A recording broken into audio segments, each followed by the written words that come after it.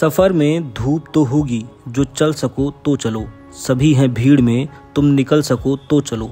साथियों, मेरे जानने चाहने वाले बड़े चिंतित रहते हैं, इसलिए कि उन्हें लगता है कि साइकिल से इतनी लंबी यात्रा तो बड़ी मुश्किल होती होगी।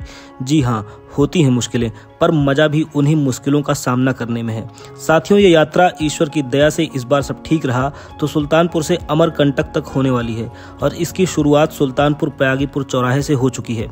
साथियों, ये वीडियो मैं ऐसे लोगों के लिए बनाता हूँ जो सामान्य ऑडियंस से ज़्यादा बुद्धिमान होते हैं, क्योंकि उन्हें टाइम पास के नाम पर कुछ भी गंध देखना पसंद नहीं होता, बल्कि उन्हें कुछ ऐसा देखना होता है जिससे वे कुछ सीख समझ सकें। जिनका वॉचिंग टाइम स्पैन आज भी एक मिनट से ज़्यादा है, उन्हें शॉर्ट वीडियो समझ में नहीं आते। तो आप यदि ऐसे व्यक्ति हैं तो बिना देर लगाए चैनल को सब्सक्राइब करके जुड़ जाएँ। साथियों, मुझे लगता है कि लंबे रास्ते साइकिल से चलने पर ज़्यादा खूबसूरत लगते हैं। तो इन खूबसूरत रास्तों पर जब प्यास लगी तो पानी पीने के लिए हम रुक गए और सोचे थोड़ा वीडियो बना लें, पर शायद इनको ये बात रास नहीं आई।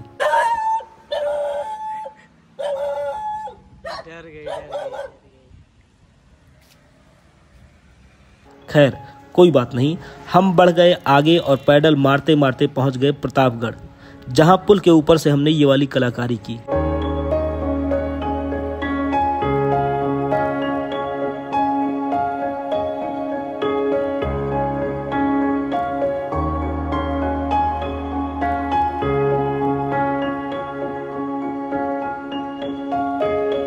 तो दोस्तों, सुल्तानपुर से करीब 40 किलोमीटर साइकिल राइड करने के बाद अभी फ़िलहाल हम लोग प्रतापगढ़ पहुँच चुके हैं और जहाँ हमको रुकना है रात में, वहाँ पर अपना बैग वैग रख के हम आ गए हैं सबसे पहले दर्शन करने बेला देवी और इस खूबसूरत शाम का मज़ा ले रहे हैं।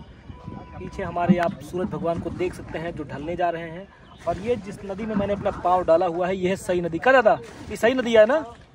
साथियों, जिस नदी में मैंने पैर डाल रखा है, यह है सई नदी। इसका इतिहास त्रेता युगकालीन है, पर यह नदी मात्र छह जनपदों से होकर गुजरती है। हरदोई की भीजवान झील से शुरू होकर लखनऊ, उन्नाव, रायबरेली, प्रतापगढ़ होते हुए जौनपुर में जाकर गोमती नदी से मिल जाती है। इस नदी के किनारे दो तीर्थ स्थल हैं। एक तो ये बेला माई और दूसरा बलुकेश्वर नाथ, जिसका ज़िक्र मैं आगे वीडियो में करूँगा। साथियों बेला देवी के इस मंदिर के विषय में पुराणों में भी वर्णित है। दक्ष प्रकरण में श्री हरि भगवान विष्णु ने जब माता सती के शरीर के इक्यावन टुकड़े किए तो कमर का भाग यानी बेल्हा यहाँ पर गिरा। वनवास के लिए जाते समय श्री रामचंद्र जी ने भी यहाँ पर बेल्हा माता का पूजन अर्चन किया था। यह मंदिर अयोध्या से प्रयागराज मार्ग पर प्रतापगढ़ घंटा घर से पहले सई नदी के तट पर स्थित है।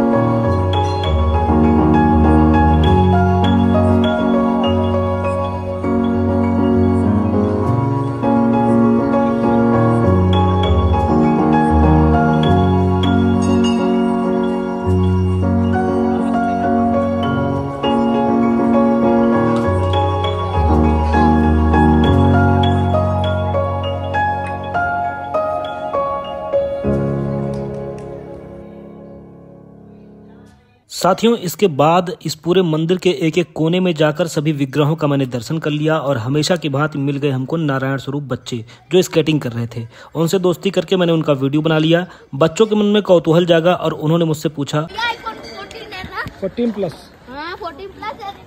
क्या इसके बाद मुझे अमीर हो जाने का सर्टिफिकेट मिलेगा या नहीं? जनता जवाब चाहती है दोस्तों। खैर, आप में से काफ़ी सारे लोगों के मन में ये प्रश्न रहता है कि मैं भोजन कहाँ करता हूँ। तो ये निर्भर करता है परिस्थिति पर। तो आज तो भैया भोजन स्वयं बना करके करना पड़ेगा। ज़बरदस्त चावल बन चुका है। सब्ज़ी की तैयारी हो रही है।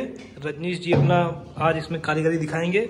और आटा समझ जा चुका है। अभी से मैं रोटी बनाऊँगा। जो भी बन पाएगी, सही गलत। और इसके बाद रात्रि भोजन करेंगे जोरदार तरीके से। लेकर के सफीना डूब जाएगी ये काफिर ज़िंदगी। क्या भरोसा है ज़िंदगी का या नहीं साथ देती किसी का? अगर यह वीडियो आप अब तक देख रहे हो तो इसका मतलब यह वीडियो आपको पसंद आया तो एक लाइक ज़रूर कर दें और अपना विचार कमेंट बॉक्स में ज़रूर दें और चैनल को सब्सक्राइब करके जुड़ जाएँ जिससे हमारे आने वाले वीडियोस की जानकारी आप सभी को सबसे पहले मिल सके। जय श्री राम।